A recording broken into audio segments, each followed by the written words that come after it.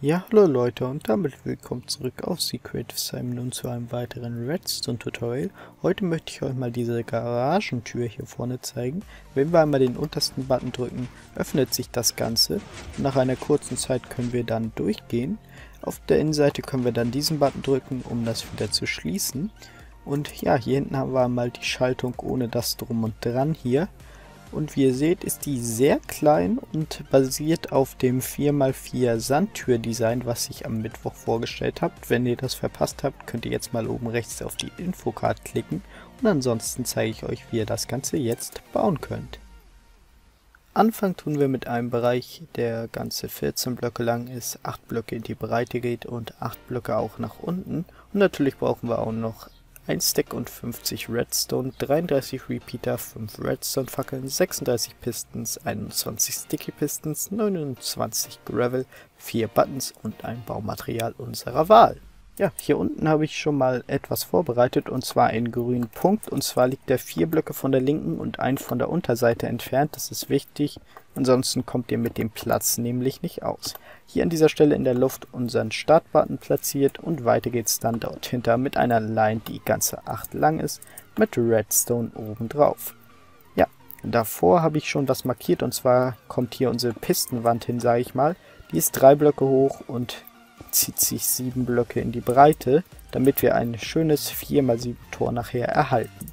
So, hier oben drauf dann normale Pistons und darüber, ihr könnt es euch, denke ich, schon denken, Gravel. Und zwar 7x4 lang und das heißt, es bleibt genau ein Gravel übrig, wer rechnen kann. So, nicht vergessen, alles ausfüllen und dann solltet ihr ungefähr auf der Höhe eures Bodens sein. Ja, weiter geht's dann mit eurem Garagentor. Das könnt ihr natürlich designen, wie ihr wollt. Ich mache hier jetzt das schnell mal hin mit Quarz. Aber ich habe es vorhin ja auch schon mal gezeigt, wie es aussehen könnte dort drüben. Und ich denke, ihr habt dafür auch ein Händchen und könnt das auch ein bisschen selber designen. Ansonsten doch das Design von mir. Ja, Ansteuerung der Pistons hier unten ist wie bei der 4x4 Sandtür, die ich vorhin schon mal erwähnt hatte. Hier eine Line mit Redstone und ein Block, der rechts ein bisschen absteht. Dort drüber wieder eine Line ohne den Block, der absteht. Und dort drüber eine normale Line ohne Redstone drauf.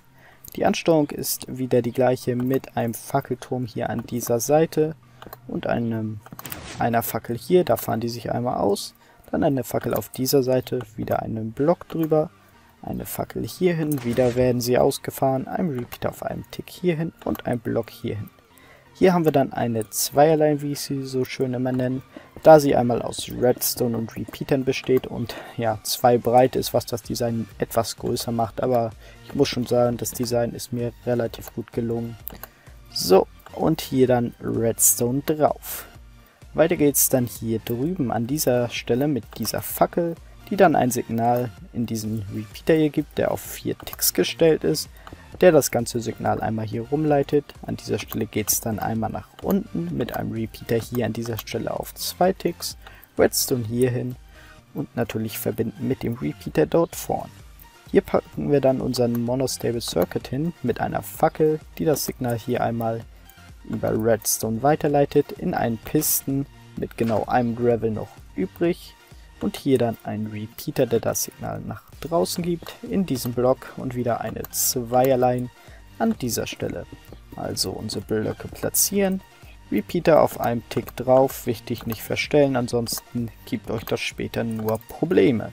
So Redstone davor und schon sind wir damit fertig. Hier gehen wir einen nach außen und machen hier eine kleine Treppe mit einem Repeater hierhin und Redstone an dieser Stelle. Hier an dieser Stelle saugt ein Repeater sozusagen das Signal aus diesem Block hier mit 2 Ticks Verzögerung, wichtig auf 2 Ticks. Hier dann wieder eine Zweierline hin und dort drauf, ihr könnt es euch schon denken, Repeater auf einem Tick. So, und davor natürlich Redstone, wichtig, wieder aufpassen, dass ihr nichts verstellt. Hier vorne auch nicht vergessen. Und dann sind wir schon fast fertig mit dem Ausfahren bzw. Öffnen des Ganzen. Hier dann einmal nach außen und zwei Blöcke nach oben. Redstone hier drauf, ein Repeater an dieser Stelle auf 4 Ticks und schon sind wir damit fertig. Wenn wir jetzt einmal den Button drücken, sollte sich das Ganze einmal ganz ausfahren und in der Luft befinden. Und dann gehen wir einmal auf das Tor und gehen ganze 5 Blöcke nach oben. Die untersten vier können wir dann wieder entfernen und packen dann hier genau vier Pistons hin. So, ich ziehe das Ganze mal hier drüber, das könnt ihr auch so machen. Dann lässt das Ganze nämlich leichter platzieren von unten. Alle Pistons, die ihr noch übrig habt, nach unten in das Garagentor zeigend.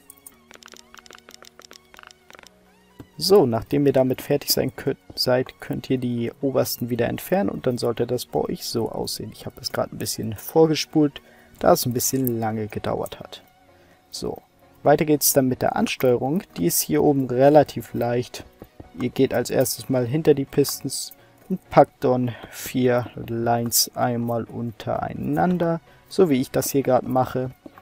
Und wenn ihr mit diesen vier Lines fertig seid, packt ihr dann natürlich Redstone drauf. Danach ist einfach nur wichtig, dass die ein bisschen verzögert aktiviert werden und wie ihr das macht. Das zeige ich euch dann jetzt, nachdem ich die letzten platziert habe. So, das Redstone auf den Pistons stimmt natürlich nicht. So, das sollte dann bei euch so aussehen. Hier vorne gehen wir dann einen nach außen mit einem Repeater und einmal einem Block davor und einem Button. Allerdings müssen wir die natürlich jetzt noch verbinden. Dafür gehen wir hier hinten einmal einen nach außen und einen nach unten und bauen hier so eine Art C, umgedrehtes C, mit einem Repeater hier an dieser Stelle auf zwei Ticks. Das Signal geht dann hier runter und das gleiche wiederholen wir jetzt auf diesen Ebenen, nur dass wir einmal rechts davon gehen und hier dann wieder links davon. So, und damit hätten wir das auch fertig.